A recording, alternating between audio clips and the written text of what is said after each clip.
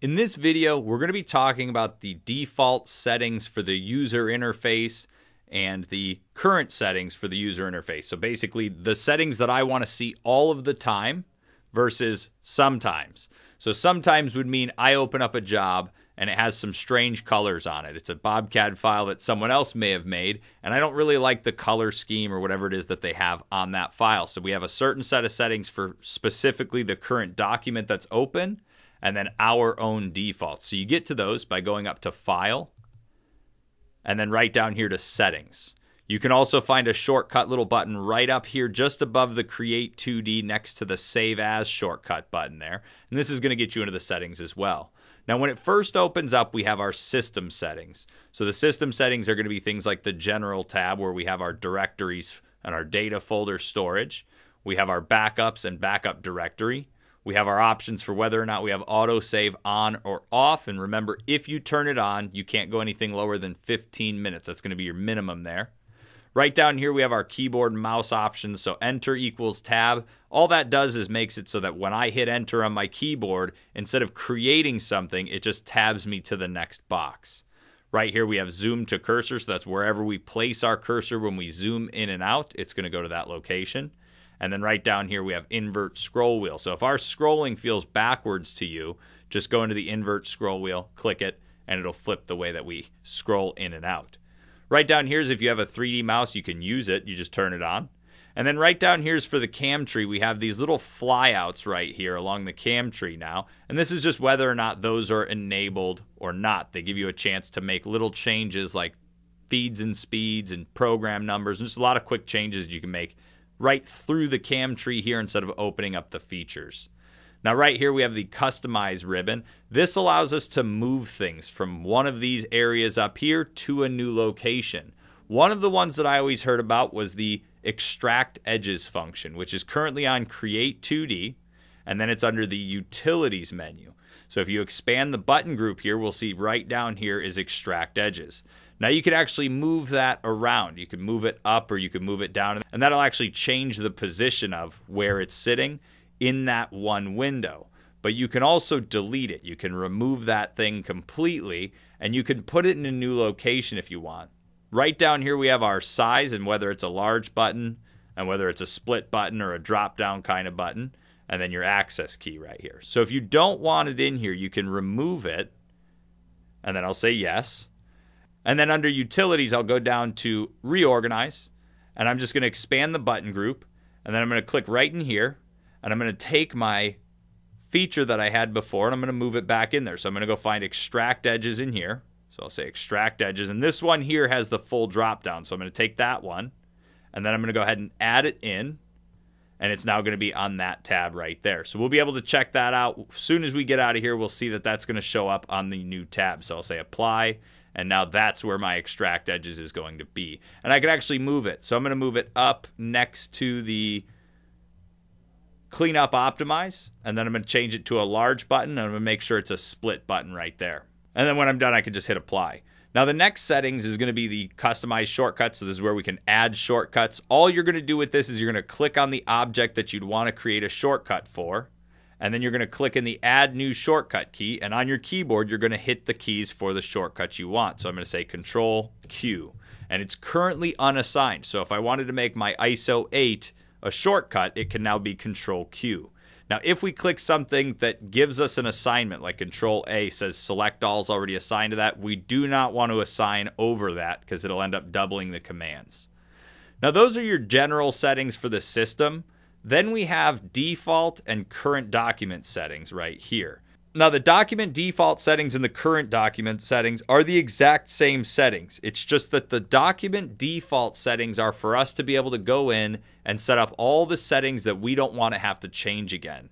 The current document settings are just for the window that's currently open and it only affects the window that's open. So if you open a file and it's got some weird colors on it, the current document is what you're going to modify. But if you're trying to go in and set up your system for the first time of opening it, you're going to want to do it under the default document. So right here we have our units. We can tell it whether we want inch, millimeter, centimeter, decimeter, meter, or custom. And then right down here you have your decimal places or dialog digits. And then you have your standard coordinates. This is X, Y, Z. That's how you're going to fill out your information. You could also say you want lathe coordinates, and this is going to give you a Z, an X, a Y, and then you get to tell it whether you're drawing in radius or diameter mode. In this case, I'm going to leave it on the standard coordinates there, and then we'll go to the display tab. Now, the display tab is where we get to go in and actually choose the colors that we see for everything that we do. So, the background color, we can just click this drop down and we could change this to something like a gray here. And then that's going to be my color. So we won't see this change. If I go and hit apply, it's not going to change anything. But at the bottom of the screen, we have apply to document. This will actually change it to the current document as well, so we can make a gray background for the document that's currently open. So I'll say apply that to the document. And then if I just say apply, we'll see the background just change the shade there. Let me make it a little bit more drastic. We'll go to a black background and then we could say apply that to the document and then hit apply. And now I have a black background for my part. Really, I'm just going to leave it up here at the white and then say again, apply to the document and then apply, and that'll just be my background color. Now, the settings that we get to set up are things like selection. Now, the selection is when you've actually clicked on an object and then taken your cursor off of that object. It's going to show up as this bright red. When we're just hovering over an object and about to click on it, it's going to highlight the part. And so that's going to show up as this bright pink here. The lines and arcs and all the 2D that I draw is going to show up as this color blue. And then my previews are all going to show up as this color orange. Now, if I go down a little bit further, we have our solids. They're going to show up as this purple, but only if this check mark is turned on. So if I don't have this check mark turned on, this is going to show up as the same entity color as what we have set for the entity. So we want to make sure that's checked with a different color. Same with dimensions and text. If you want those to come out with a different color, you're going to leave this button checked. In my case, I'm going to uncheck the dimension text option so that it shows up as the same color that I draw my entities with. Down here we have our axis, our crosshairs there, so that's going to be a blue. Our, our, our UCS plane is when we're working with a UCS, anything other than the top UCS it's going to show an active plane and you're going to be able to see kind of where you're working on and where you're drawing. If you don't want to see the plane, you could change it right down here with the UCS plane display just by turning that down. Right down here, the last one is our toolpath. So with the check mark on this one, it means anytime we generate a toolpath, it's going to show up as this green color. And that's just going to make it a little bit different than the rest of everything else so that we really see that toolpath standing out compared to the rest of the job. Now down here you have your show axis, which is the crosshairs, so the axis of X and Y, as well as the gnomon, which is that little symbol there in the middle. So you can tell it whether or not to show it. Down here you tell it how many tick marks you want to go in each direction, so I have it set to 100 inches in every direction.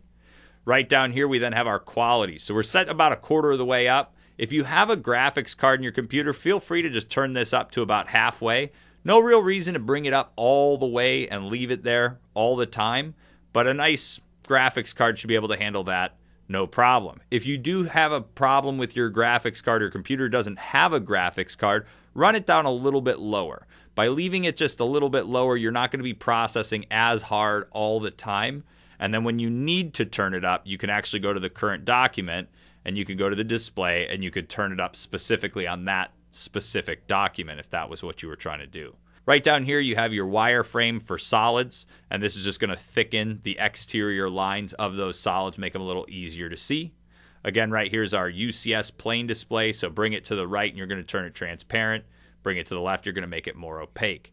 Down here, you have your orthogonal view, it's just your perspective distance, it's how you view the system.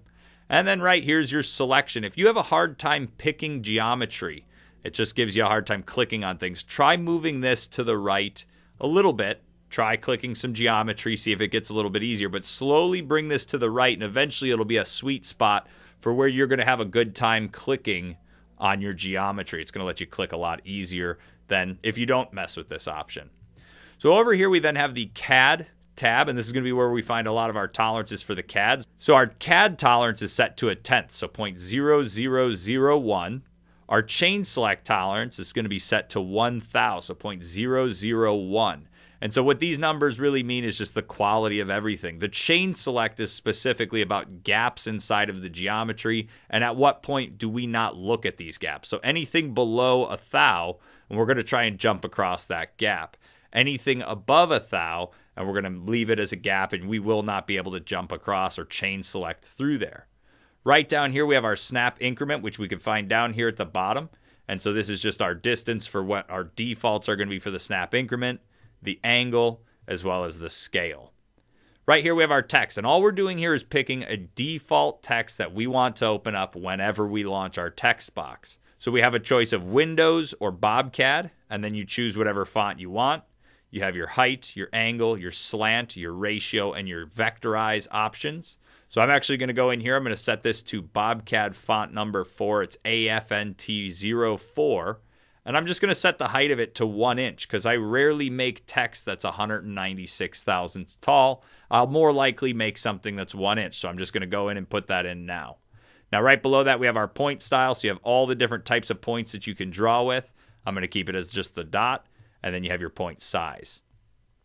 Now, right here under dimension, just like with the text earlier, we're just trying to go in and set up the defaults for when we're doing our dimensioning. These are not locked in in any way you can actually modify these while you're doing your dimensioning. So you can choose a font to use. So you have Windows or BobCAD.